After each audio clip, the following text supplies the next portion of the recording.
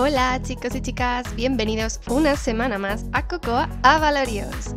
Esta semana quiero enseñarte a hacer estas bonitas pulseras. Son unisex, es decir, valen tanto para chico como para chica y son muy muy fáciles de hacer. Como siempre las puedes personalizar usando los colores que más te gusten y bueno, ya verás que no tiene desperdicio. Para empezar tienes que cortar dos trozos de cordón de algodón de 1,5 milímetros de 25 centímetros cada uno. Los doblas por la mitad. Para que te sea más fácil, sujétalo con una pinza. Corta unos 12 centímetros más o menos de un cordón más finito, también de algodón. En mi caso creo que tiene 0,5. Y mira, lo vas a hacer así, vas a hacer una especie de arquito y luego vas a enrollar sujetando todas las cuerdas con ese cordón, hacia arriba. Si recuerdas, sabrás que hace un par de vídeos hicimos la teoría de este nudo, que es el que se llama franciscano. Cuando le hayas dado las vueltas que te gusten, tienes que meter ese exceso pues por ese arquito que nos queda ahí arriba, ese bucle.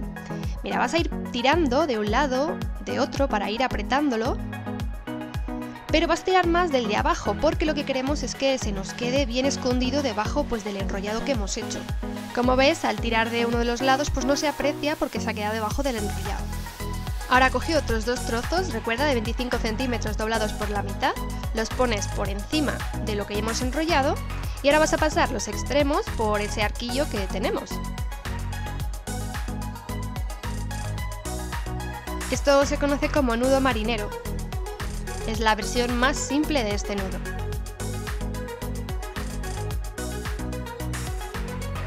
Tira bien de los cordones para que se te quede lo más bonito posible, puedes ir colocándolos a tu gusto. Ahora vamos a hacer un nudo franciscano al otro lado, recuerda, tienes que hacer un lacito y con el resto del hilo vas a enrollar, bien fuerte eso sí, así, tantas veces como hiciste en el otro lado. Si hiciste 7 vueltas, pues aquí otras 7 vueltas. Y cuando ya lo tengas igual, vas a meter el resto del cordón por ese agujerillo que dejamos. Así. Y fíjate, vamos a ir tirando. En este caso, fíjate, se me ha quedado un poquito suelto de este lado, así que lo que voy a hacer es tirar del arco para juntarlo lo máximo posible. Y ahora ya tiro del otro lado para terminar de sujetar bien ese cordón. Tirando bien fuerte para que se meta dentro del enrollado y no se vea. Cuando lo tengas todo bien apretado ya puedes cortar los sobrantes. Podrías ponerle un poquito de pegamento o si tu cordón es encerado, quémalo para que no se deshaga.